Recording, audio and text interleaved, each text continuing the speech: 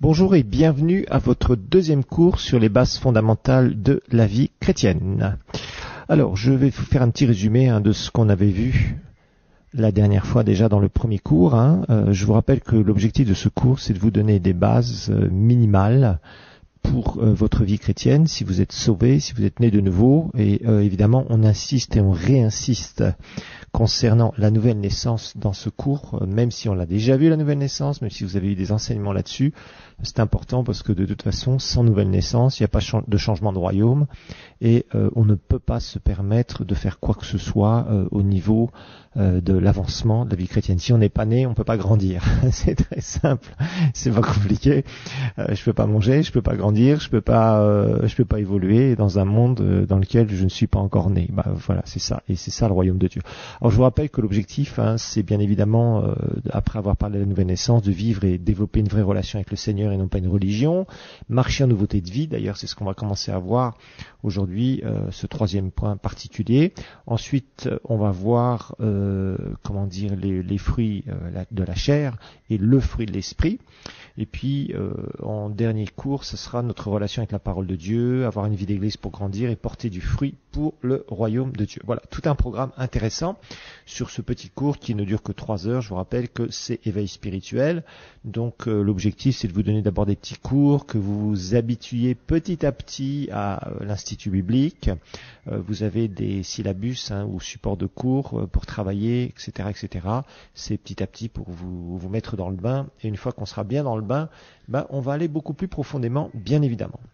Alors je vous rappelle que euh, ce n'est pas euh, d'être baptisé ou de fréquenter une église ou de chanter dans une chorale ou de faire des prières qui vous amènent à être sauvé. Hein, c'est pas ça le salut. Le salut, on a vu, c'est un changement de royaume.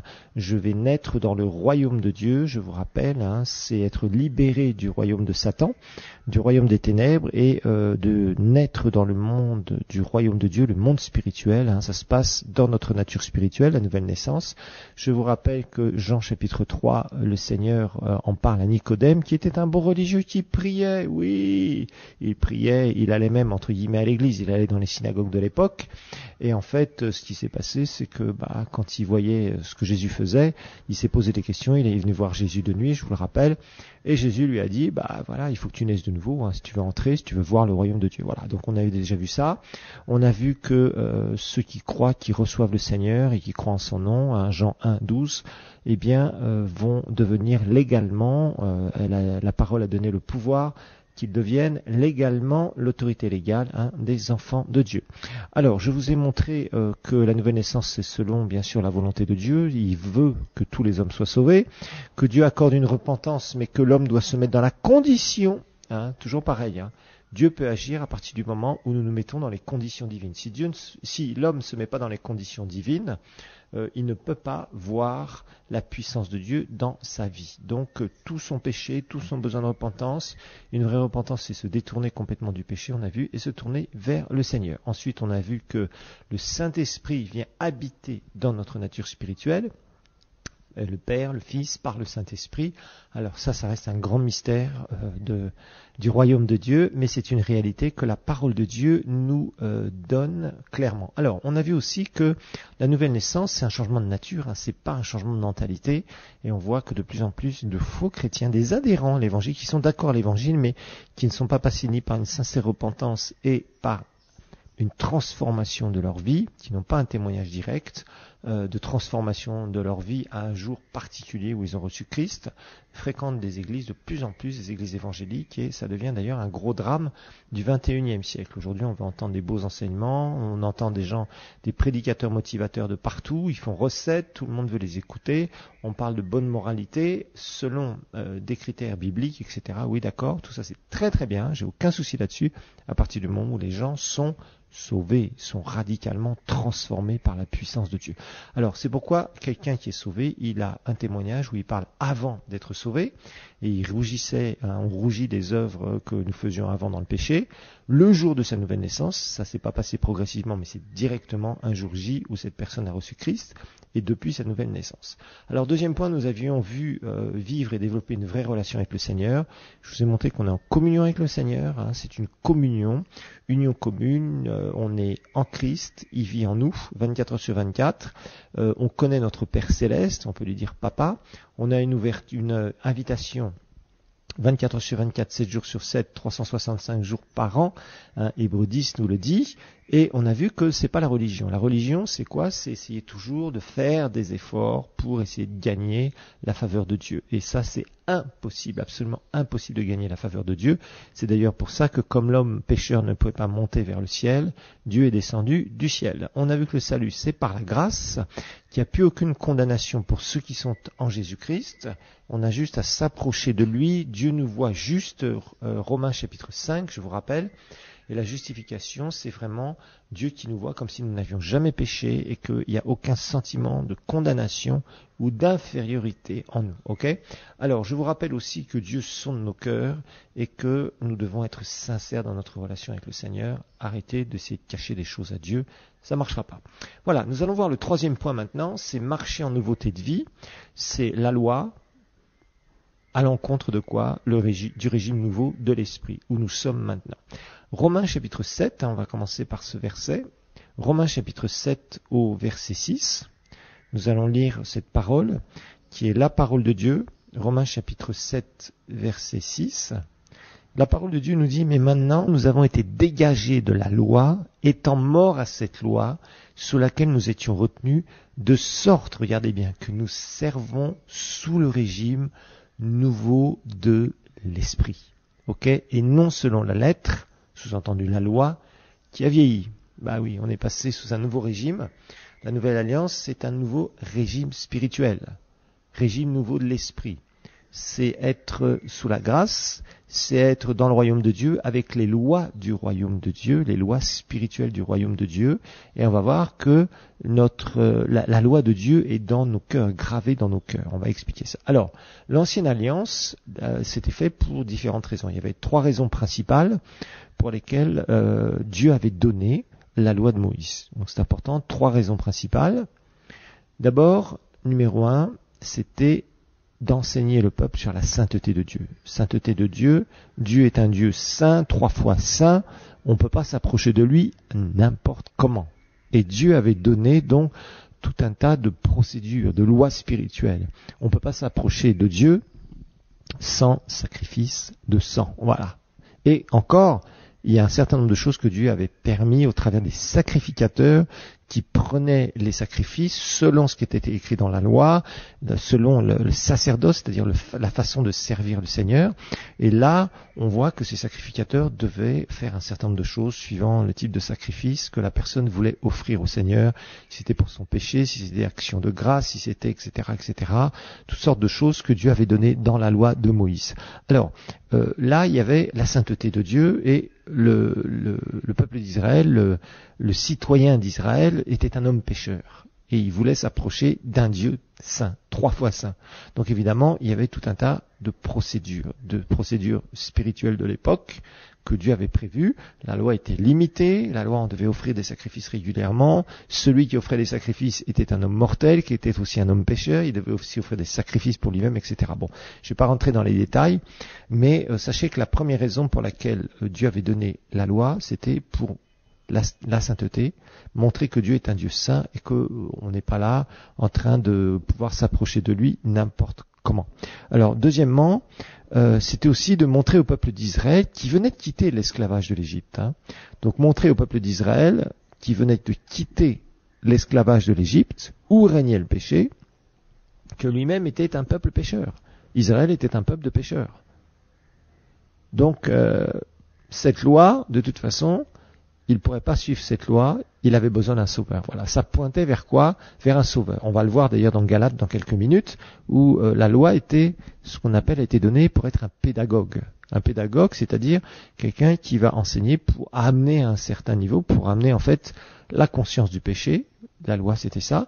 Et en même temps aussi, l'homme pécheur, finalement, il pouvait faire tous ses efforts, mais il ne pouvait pas se dégager du péché, parce que la nature du péché était en lui. Donc finalement, ça pointait vers quoi Le besoin d'un sauveur, évidemment. Et ce sauveur viendra au travers d'Israël, le peuple élu euh, selon euh, donc euh, les promesses d'Abraham, le peuple terrestre, le peuple élu de la terre. Voilà, nous on est le peuple élu du ciel, parce que Dieu avait dit à Abraham, tu vas compter la poussière de la terre, telle sera ta postérité.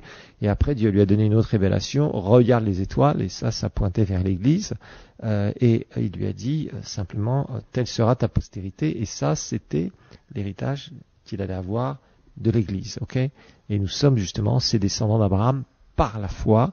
Israël est descendant d'Abraham par la chair. Alors, troisième chose, c'est limiter le péché en interdisant ces pratiques destructives. Et ça, c'est très clair. Euh, Dieu voulait limiter le péché parce que euh, la loi, c'est la loi. La loi, c'est tu feras. Ça, c'est bien. Ça, c'est pas bien. Si tu fais le bien, ok, tu es béni par Dieu. Si tu fais le mal, attention, la malédiction, c'est pas Dieu qui maudit, mais la malédiction du péché viendra sur toi. Et c'est clair que la Bible nous dit que Christ nous a racheté de la malédiction de la loi, mais euh, le peuple d'Israël n'a jamais été capable d'obéir à la loi d'ailleurs.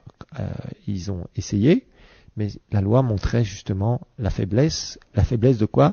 De la nature de l'homme. Tant que la nature de l'homme n'était pas changée, il était impossible à l'homme de pouvoir plaire à Dieu et euh, de pouvoir euh, pratiquer la loi divine. Alors regardons ensemble dans Galates 3, versets 24 et 25. Galates 3, versets 24 et 25. La Bible nous dit Ainsi la loi Galates chapitre 3, versets 24 et 25. Ainsi la loi a été comme un pédagogue, hein, je vous en ai parlé tout à l'heure, voilà le verset, pour nous conduire à Christ, afin que nous fussions justifiés par la foi. La foi étant venue, sous-entendu au travers de l'œuvre de Jésus, hein, nous avons foi dans son sacrifice, nous ne sommes plus sous ce pédagogue, car vous êtes tous fils de Dieu par la foi en Jésus-Christ. Ok? Donc là aussi, c'est à bien comprendre. Donc cette fameuse loi de Moïse, euh, qui, bon, bah c'était la meilleure alliance que Dieu pouvait faire avec son peuple à l'époque. Hein, c'est ça qu'il faut comprendre. Mais cette alliance, bah, elle avait des limitations et des limitations qui ont amené le peuple d'Israël à réaliser quoi? Bah qu'il avait besoin d'un sauveur parce que par la loi, il ne pouvait pas trouver la vie divine. Dieu soit béni, nous ne sommes plus sous la loi, nous sommes sous la grâce, nous sommes sous le régime nouveau de l'esprit, comme nous le dit Romains chapitre 7, verset 6. Je vous avoue franchement, moi je n'aurais pas aimé être sacrificateur dans l'Ancien Testament, aller égorger des bêtes, répandre le sang d'une certaine manière, être prudent parce que j'aurais pu mourir d'un seul coup si jamais je désobéissais. C'était compliqué, hein, franchement. On peut remercier le Seigneur. Vous savez, il y a beaucoup de choses dans lesquelles on ne remercie pas le Seigneur et on devrait lui dire Seigneur, Merci, merci de te connaître, merci de m'avoir sauvé. Quand je vois des pécheurs perdus qui meurent et qui partent en enfer, oh Seigneur, merci. Merci pour ta grâce, merci pour ton amour, même si je ne suis pas parfait, même si je fais mes erreurs, Seigneur, même si parfois je pêche, Seigneur, merci, parce que ton amour est grand, ta grâce est infinie et tu es extraordinaire. Merci Jésus. Voilà. Ça, c'est quelque chose qui devrait être dans nos cœurs. Rappelez-vous toujours que vous avez été tiré du péché. Rappelez-vous toujours où vous soyez, dans quelque niveau que vous soyez. Rappelez-vous toujours d'où vous venez. Ça c'est important parce que ça ne fait que des louanges pour le Seigneur, de montrer combien il a transformé votre vie et combien il a été bon envers nous, envers nous qui croyons. Voilà. Alors, euh, les, la Galatie, hein, quand Paul écrit aux Galates, la Galatie, c'est pas une ville, hein, c'est pas une église non plus. La Galatie, c'était toute une province que euh, Paul, entre autres, euh, et Barnabas avaient évangélisé, surtout dans leur premier voyage missionnaire. Et malheureusement, à partir d'acte 13, hein, on étudiera tout ça au fur et à mesure, vous saurez tout ça un peu plus loin.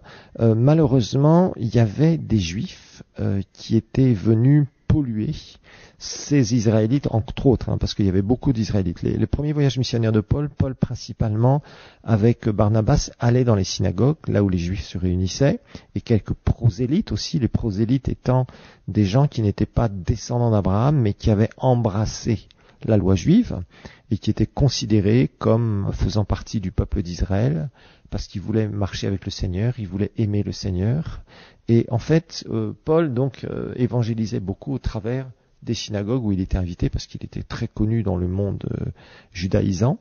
Et Paul était un érudit de la loi, il connaissait très bien, étant pharisien à la base, donc il, il prouvait souvent, au travers de ses prédications pour amener les gens à Christ, bah, que la loi, Christ avait accompli la loi, etc., etc.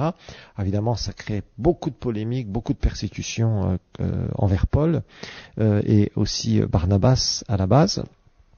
Euh, Paul après a, eu comme compagnon d'œuvre Silas un peu plus tard dans le deuxième et troisième voyage missionnaire. Alors en fait, ce qui s'est passé, c'est que euh, euh, ces Juifs qui étaient très fâchés contre Paul sont revenus et ont dit à ces gens, à ces chrétiens, donc chrétiens de souche juifs principalement, faut vous remettre sous la loi. Et en fait, ça c'était grave parce qu'en fait, Paul leur disait, bah, si vous voulez appliquer la loi, avec la loi, de toute façon, vous ne trouvez pas la vie. La loi amène à la mort, parce que la loi amène la conscience du péché. La loi amène, ni plus ni moins, bah, à, pratiquer des choses qui, au bout d'un moment, bon, bah, on, va, on va transgresser les lois du Seigneur. Et à ce moment-là, la mort vient. Il suffit de transgresser un commandement, et à ce moment-là, on se remet sur la malédiction de la loi. Voilà.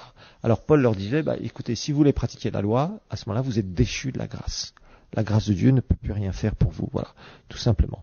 Donc euh, il leur montre clairement qu'il n'y a pas de vie dans la loi, que la loi amène le péché, euh, et que euh, c'est pas par là qu'on peut être justifié, mais qu'on est justifié par la foi.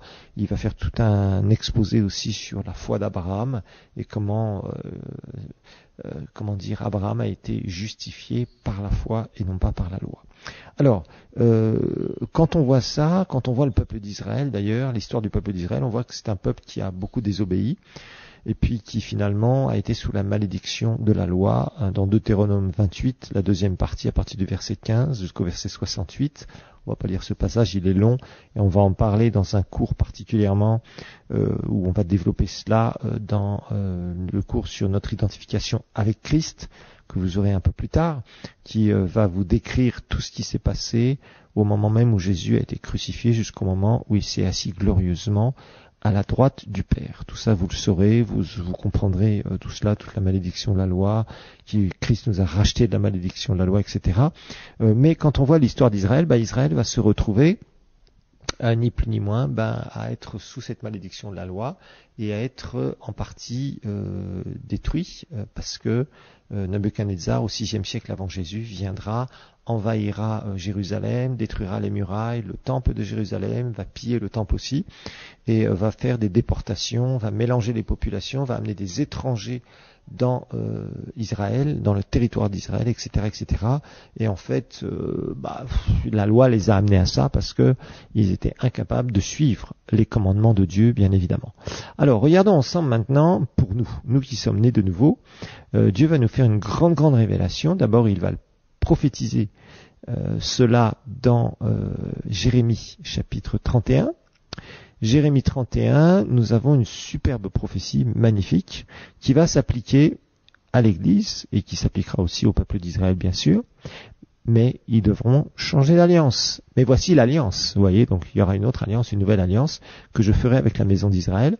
Après ces jours-là, dit l'Éternel, je mettrai ma loi au-dedans d'eux, je l'écrirai l'écrirait dans leur cœur ou dans leur nature spirituelle. On verra que le cœur et la nature spirituelle, c'est la même chose.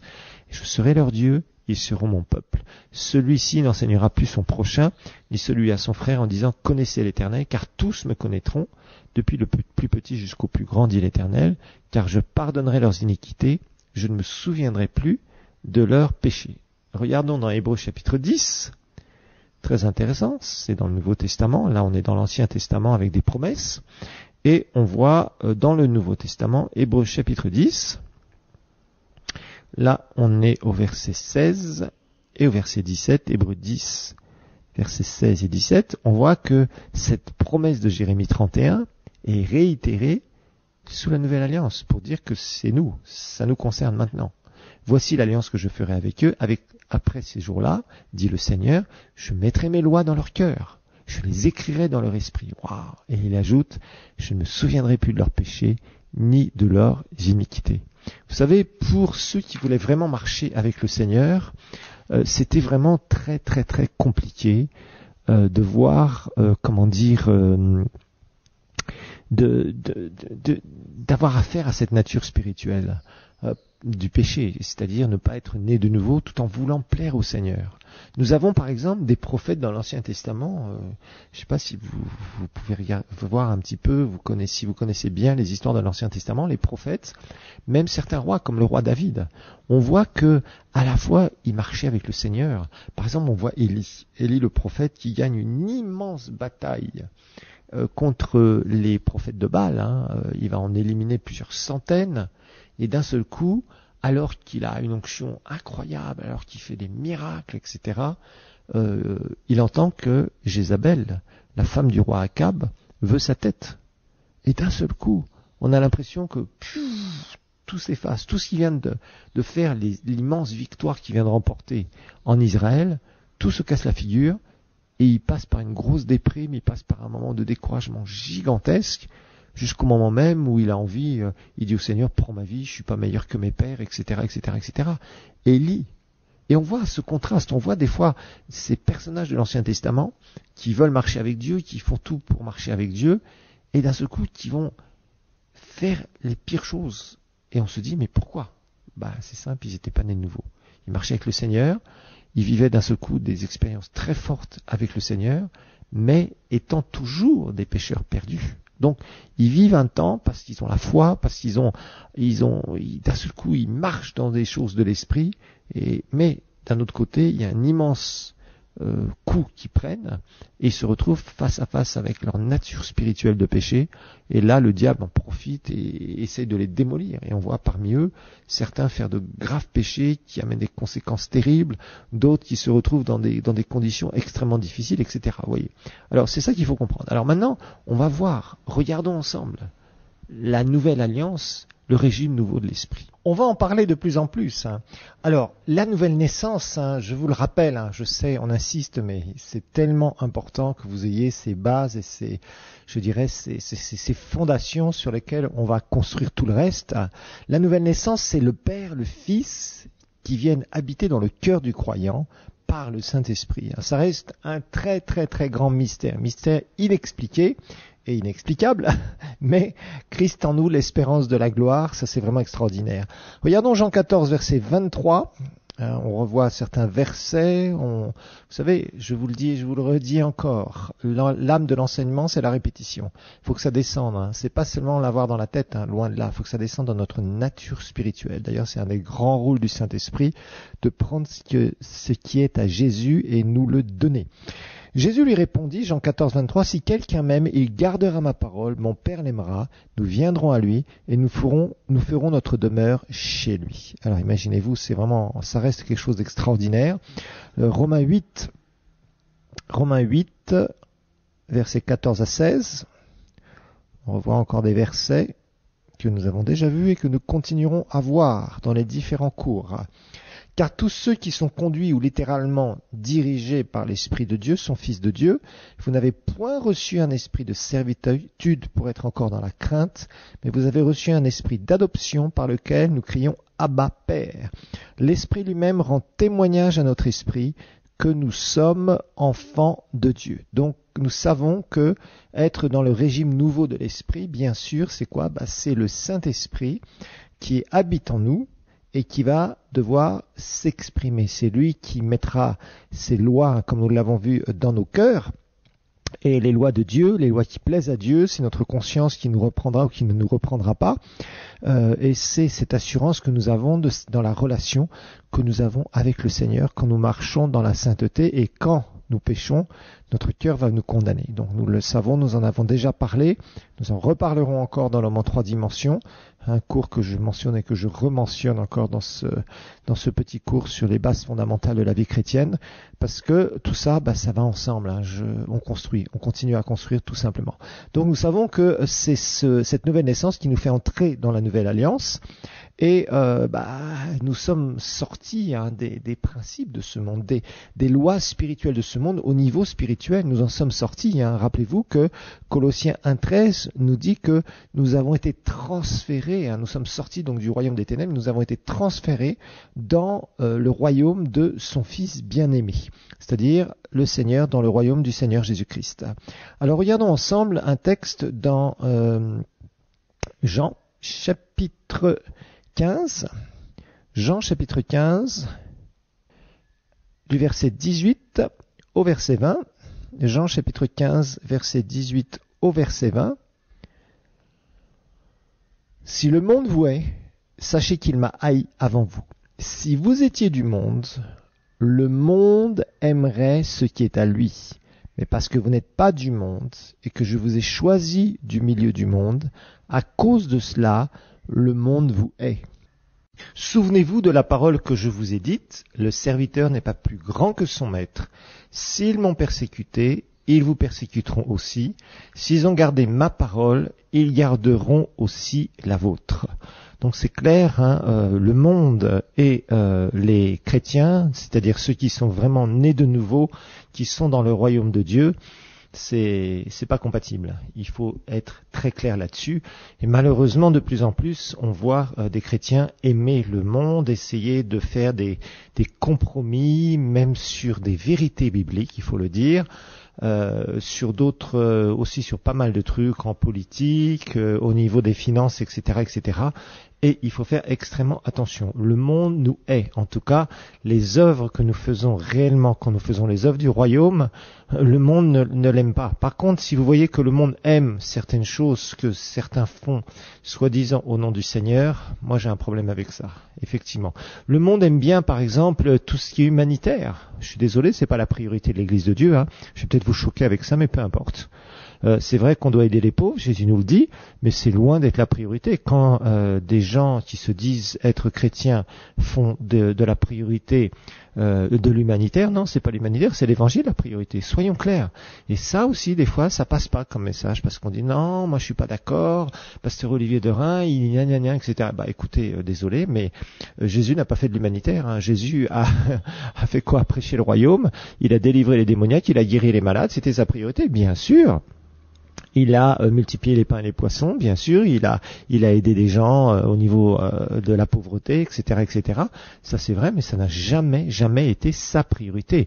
Donc faut remettre les priorités en ordre, hein, parce que sinon vous en faites pas. Le monde va petit à petit vous embarquer, vous vous happer, comme on dit si bien, c'est-à-dire au bout d'un moment il va vous envahir et vous penserez que vous faites des bonnes choses parce que vous priez, parce que ceci, parce que cela. Remettons nos priorités en ordre. Il y a vraiment un très très gros problème actuellement avec l'Église de Dieu, euh, de vouloir se conformer au monde. Et pourtant, la Bible nous dit plusieurs choses hein, à propos de, l'amour du monde et à propos de faire attention, euh, comment nous devons vivre. Regardons ensemble euh, Éphésiens, chapitre 4, Éphésiens, chapitre 4. On va lire du verset 20 au verset 24. Alors c'est un texte qui est un petit peu compliqué à comprendre hein, quand on est sauvé, né de nouveau depuis quelque temps seulement.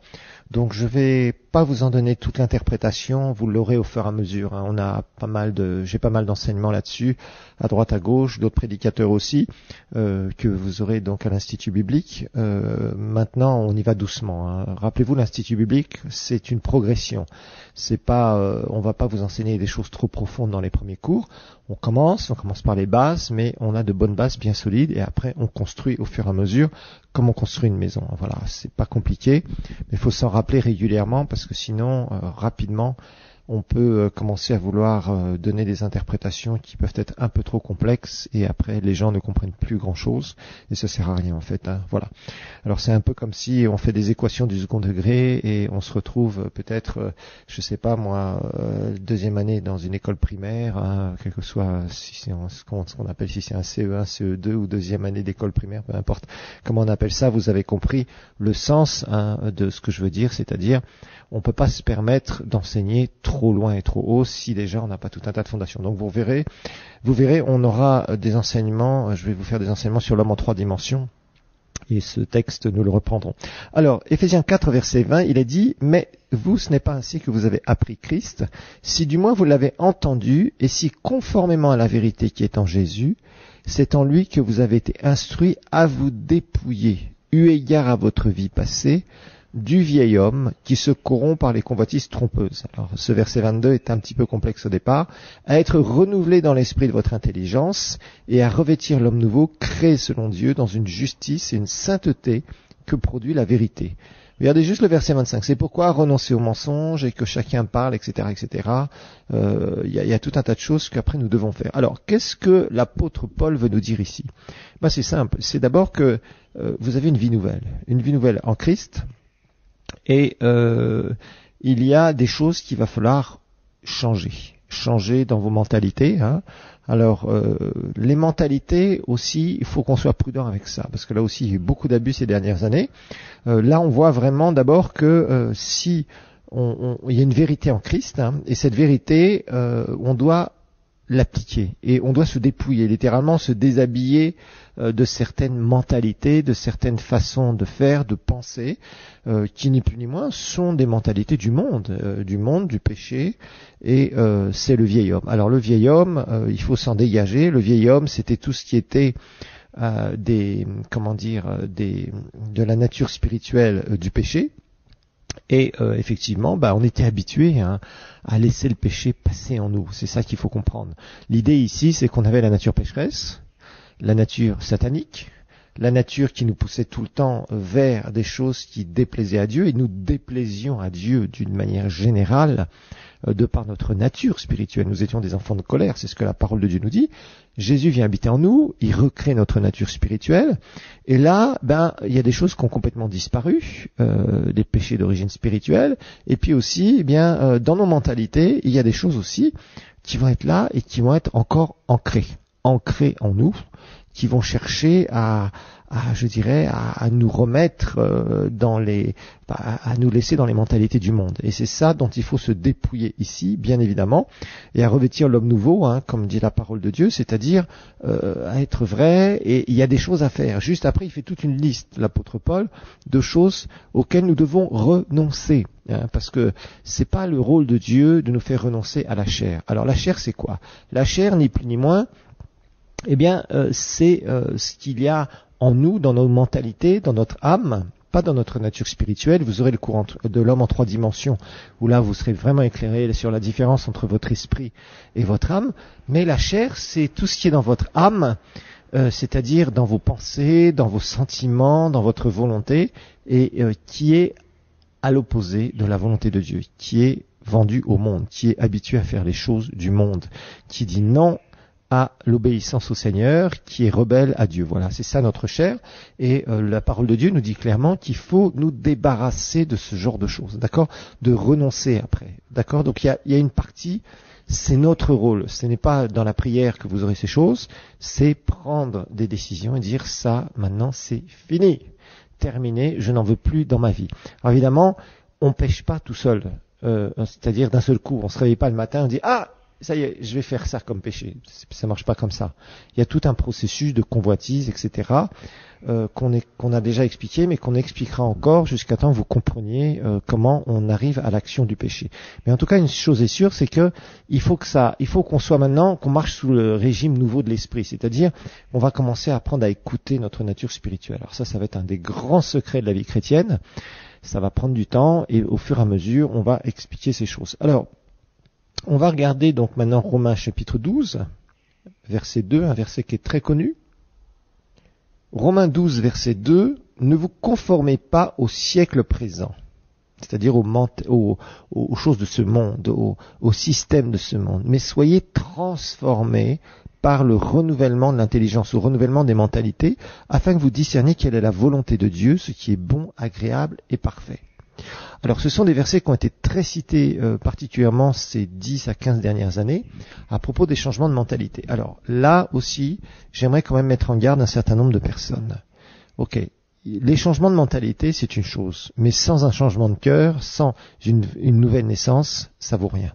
Parce que beaucoup aujourd'hui adhèrent à certaines mentalités, je dirais, qui sont bonnes, qui ils adhèrent euh, dans les églises euh, protestantes, évangéliques, euh, parce que bon, bah il y a de la belle musique, parce que on entend la parole de Dieu, etc., etc. Mais je vous avertis, je vous avertirai encore, il faut qu'on fasse attention à ça, parce que ça devient de plus en plus entre guillemets à la mode, surtout dans certains pays où le protestantisme a beaucoup gagné mais on a de plus en plus de gens qui sont pas sauvés, qui viennent dans nos églises, qui veulent des séminaires sur le business, qui, écoutent tout un tas de trucs, et, c'est normal parce que vous savez, même les gens de, du New Age, euh, qui sont vraiment des gens qui euh, ont des, ces histoires de pensée positive, il y a beaucoup, il y a beaucoup de choses sur la pensée positive aujourd'hui, euh, particulièrement sur Internet. Vous trouverez tout un tas de personnes qui réussissent, qui sont dans le succès, qui gagnent des millions et des millions de dollars, même plus, qui ont de la, une pensée positive. Et la plupart d'entre eux, qu'est-ce qu'ils font? Ils appliquent ni plus ni moins des principes qui sont écrits dans la Bible. Donc des principes divins qu'ils appliquent, ça marche, mais il y a une chose euh, qu'ils oublient, c'est Jésus. Ils refusent de croire dans le Seigneur. Ils refusent d'être nés de nouveau. Il faut faire attention. Hein. Euh, je pourrais vous citer peut-être même des gens que vous regardez sur Internet qui marchent très très bien, qui ont beaucoup de succès dans ce monde, que peut-être même vous êtes en train d'imiter euh, où vous étudiez leurs trucs et leurs machins, mais faites des, recherches hein, sur qui c'est. Hein. Je vois par exemple euh, quelqu'un qui s'appelle Grant Cardone, euh, qui est un grand businessman, euh, qui a beaucoup de succès, c'est un Américain, il fait tout un tas de séries vidéo, etc., etc. Mais il appartient à une secte, ce monsieur. Il appartient à une secte. Faites attention ne pensez pas qu'il faut avoir simplement des mentalités de succès, de machin. En fait, de plus en plus, moi, ce que je vois dans l'Église de Dieu, c'est que on parle de la prospérité, ça, il n'y a aucun souci là-dessus, c'est biblique, il y a la vraie prospérité biblique. Maintenant, il y a beaucoup d'abus aussi euh, sur ces enseignements, il faut faire vraiment attention aussi, il faut, être équilibré comme dans tout, dans la parole de Dieu. Euh, mais euh, en fait, on, s'aperçoit que les gens veulent, ils font leur plan, leur propre plan. les chrétiens sont là, ils font, ils disent, moi je veux ceci, moi je veux cela, moi je veux être comme ci, je veux être grand, je veux être millionnaire, je veux ceci, je veux cela. Et quelque part, ils prient Dieu de rentrer dans leur plan. Mais Dieu dit, mes, pensées ne sont pas vos pensées, hein. et mes voix ne sont pas vos voix. il dit aussi, malheur à l'homme qui se confie dans l'homme. Euh, tous ces versets-là, euh, on les oublie un petit peu trop. On est en train de beaucoup construire sur j'ai mes plans, j'ai mon succès, je veux devenir ça, ça et ça, Dieu bénis-moi. Et quand j'y arrive, je dis merci, c'est Dieu qui a fait ça. Euh, pas tout à fait. Parce que des années plus tard, il y a quasiment plus de relation avec le Seigneur, si jamais il y en avait une au départ. Euh, nous devons être très prudents par rapport à ça. Changer les mentalités, oui. Euh, avoir la pensée de Dieu, de Christ, de Dieu, oui, c'est biblique absolument. Mais attention, avoir la pensée du succès personnel et de l'ego comme on voit, je vois même certains euh, prédicateurs qui sont en, train de construire des empires chrétiens, c'est-à-dire ils font tout un tas de trucs comme si c'était une société qui sont en train de gérer une boîte et euh, avec tout un tas d'artifices commerciaux, de recrutement, recruter les brebis des autres, euh, faire X église, faire X machin, dire que on est grand, on est ceci, on est cela, nous, nous, nous, nous, et ils s'enferment comme si c'était eux et eux seuls. Mais c'est extrêmement dangereux. Ça, c'est vraiment pervertir l'évangile de Christ. Ça paraît, c'est un succès apparent, mais qu'est-ce que le Seigneur en pense réellement? Donc faisons vraiment attention, hein, parce qu'il y a, y a des, déviations par rapport à ça, mais changer de mentalité. La mentalité de l'échec, effectivement, n'est pas, n'est pas de Dieu. On est d'accord. Mais euh, Dieu veut que nous puissions prospérer, réussir, oui, mais réussir selon le cœur de Dieu. La réussite numéro un, la vraie prospérité, c'est d'abord avoir une relation beaucoup plus forte avec le Seigneur, faire des expériences, amener des âmes à Christ, faire ce que Jésus nous demande. Et le reste, oui, bon, euh, être millionnaire en dollars, moi j'ai aucun problème. Et c'est bien, et d'ailleurs nous avons besoin de chrétiens qui deviennent des millionnaires, et même des milliardaires, puisque les païens ont les richesses de ce monde aujourd'hui, et les chrétiens souffrent, entre guillemets, euh, beaucoup de gens qui ont beaucoup d'argent, euh, même quand ils sont chrétiens, ne financent même pas l'évangile de Christ. Et ça, c'est vraiment très triste. Et certains qui sont euh, riches se font beaucoup critiquer. Certains prédicateurs qui ont beaucoup de richesses et qui financent l'évangile et qui sont discrets, euh, il y en a certains, ils se font énormément critiquer. Et ça, c'est extrêmement dommage. Quand on voit ce que les païens aujourd'hui euh, et ce qu'ils dépensent et à quoi ils dépensent cet argent en milliards de dollars, bah, c'est vraiment triste parce que finalement, les chrétiens nés de nouveau, l'évangile devrait être financé, on devrait avoir gagné les nations et on ne les a pas gagnés. Pourquoi? Bah, Parce qu'il y a vraiment des mentalités qui ne sont pas bonnes au niveau du corps de Christ euh, et des gens qui marchent beaucoup dans l'échec. Donc, oui, il y a un équilibre à avoir. ok? Alors, on va voir maintenant Jacques 1, versets 21 et 22. Euh, Jacques 1, 21 et 22, c'est pourquoi rejetant toute souillure et tout excès de malice ou de méchanceté dans d'autres versions, recevez avec douceur la parole qui a été plantée en vous et qui peut sauver vos âmes.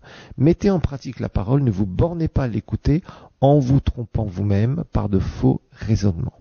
Alors là, euh, Paul, euh, pardon, Jacques nous prévient et nous avertit effectivement rejeter toute souillure, toute méchanceté, toute saleté, le péché, ok, et ça c'est très important. Il faut marcher en nouveauté de vie, que notre esprit, en fait, notre nature spirituelle puisse s'exprimer. Recevez avec douceur la parole qui a été plantée en vous et qui peut sauver vos âmes. Alors, c'est un peu étonnant parce que quand on voit sauver vos âmes, on expliquera un peu plus ce verset dans d'autres cours, euh, on, a, on a tendance à dire, mais moi je suis sauvé. Oui, effectivement, nous sommes sauvés. C'est pas ça que ça veut dire. Sauver, là, euh, ça a plusieurs sens. Hein. Sauver, littéralement, c'est le verbe sozo en grec. Il veut dire effectivement sauver de la damnation éternelle, ça c'est vrai, c'est un premier sens. Mais il veut dire aussi guérir. Il veut dire aussi restaurer. Et on verra qu'on a besoin d'une restauration dans notre âme. Donc ça, c'est quelque chose aussi qui est très important. Donc la part de l'homme, c'est clair, c'est de se débarrasser de certaines choses. Et la part de Dieu, bien évidemment, ça va être d'agir en nous, d'agir dans nos vies par le Saint-Esprit. Hein. On a pas mal de versets euh, qui, nous en, qui nous en parlent. Et euh, le, Seigneur veut agir en nous, il veut aussi pouvoir euh, nous, aider hein, par rapport à, toutes ces révélations euh, dont on a besoin, par rapport à sa parole, par rapport à, beaucoup de choses dans, lesquelles il veut, qu'on marche. D'accord?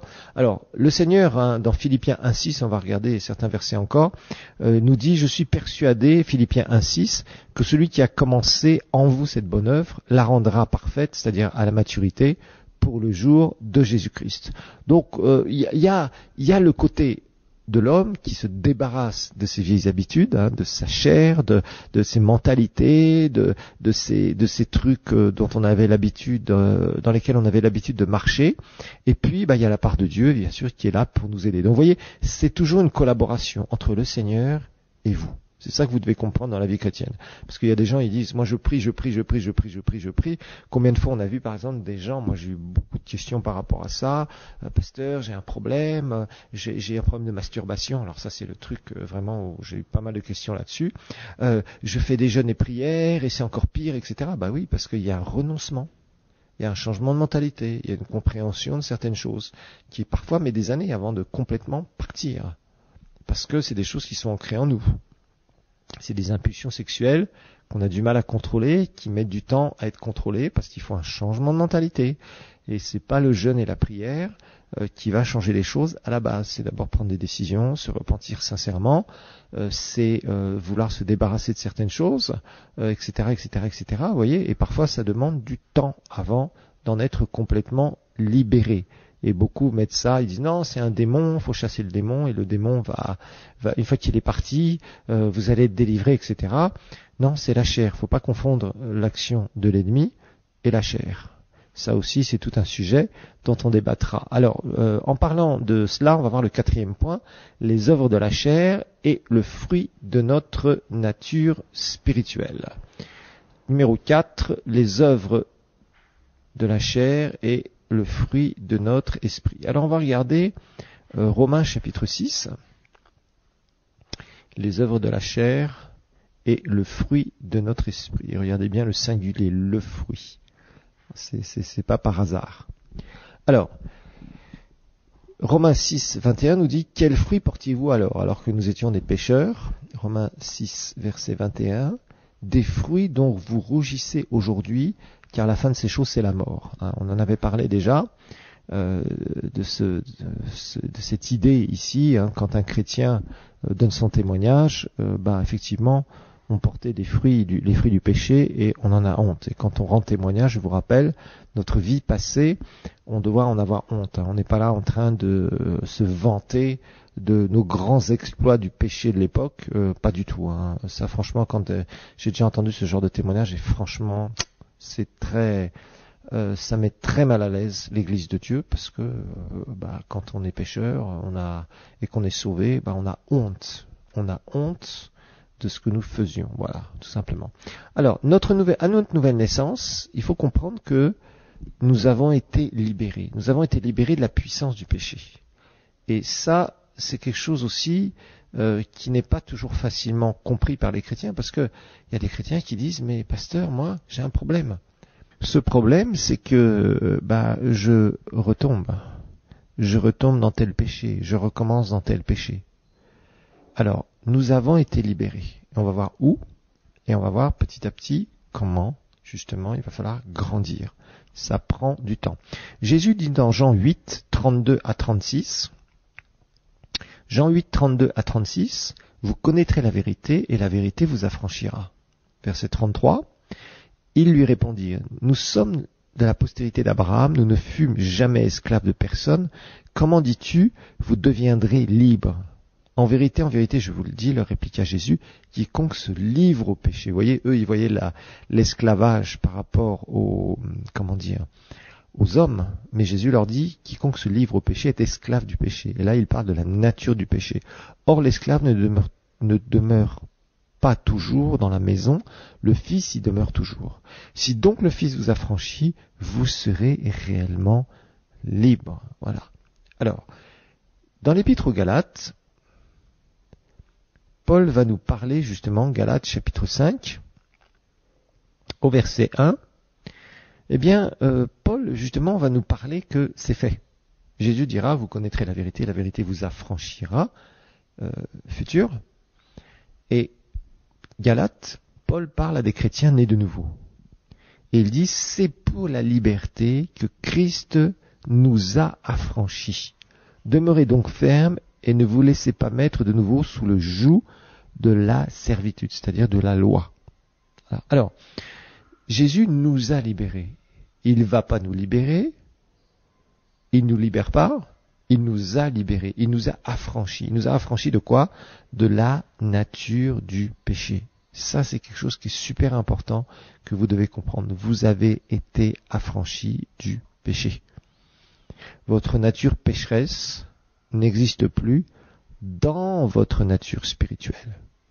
Donc ça, c'est vraiment très très très important au niveau du péché, c'est très important parce que nous avons justement cette liberté de pouvoir marcher dans la sainteté et de plaire à Dieu. Cela ne veut pas dire que nous n'allons pas chuter, mais les chutes doivent être rares. Voilà, tout simplement.